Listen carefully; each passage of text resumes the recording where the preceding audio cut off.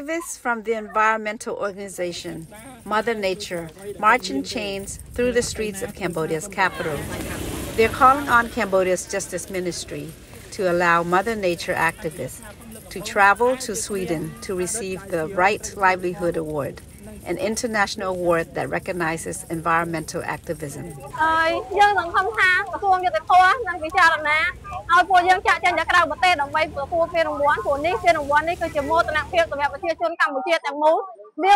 វាគឺជារឿងដ៏អស្ចារ្យដែលយុវជនកម្ពុជាអាចទទួលបានពានរង្វាន់លំដាប់ថ្នាក់អន្តរជាតិហើយក៏សង្ឃឹមថាគាត់នឹងនឹងក្រសួងយុតិធម៌នឹងអនុញ្ញាតឲ្យពួកយើងចេញទៅទទួលពានដើម្បីបង្ហាញមុខមាត់